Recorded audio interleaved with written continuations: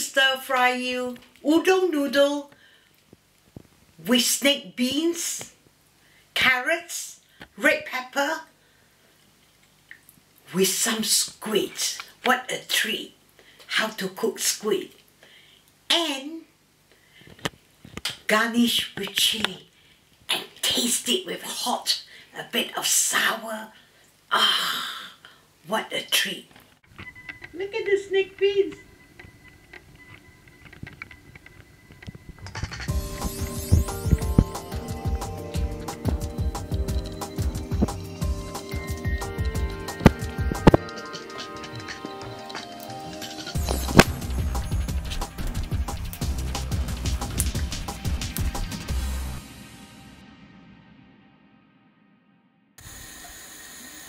About tablespoon of oil.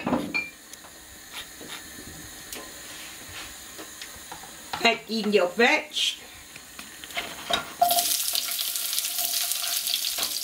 This all the veg carrots red pepper and snake beans are in the frying pan.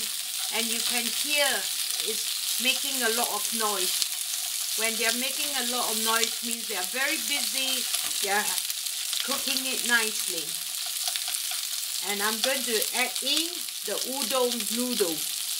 This udon noodle is parboiled so that nothing is cooked long time.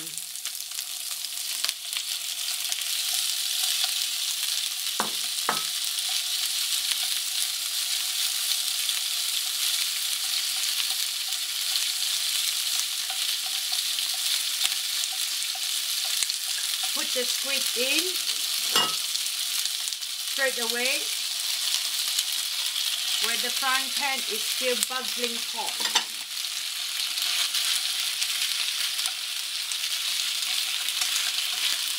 Then put the udon noodle and the veg on top of the squid because seafood need high fire. You can see the squid is curled this means that it's cooking well. It's going to be ready in few more, um, two minutes. Frying pan in two minutes. With a bit of pepper in. A little bit of fish sauce in.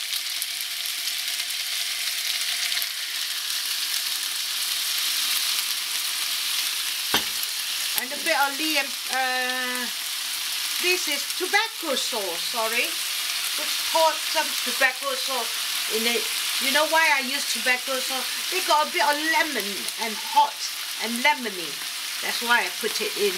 Whoa, it's nice and hot. And noodles, always like a little bit of sesame oil.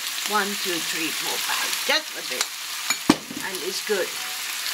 Now you can see everything is changing and everything is glazing. Okay, it's two minutes now. We can pour it in our beautiful, beautiful bowl. It smells beautiful. Now I'm going to dish it in my beautiful bowl. That will give you a little bit more appetite.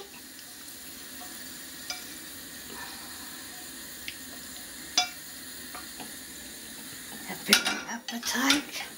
Some squid on top.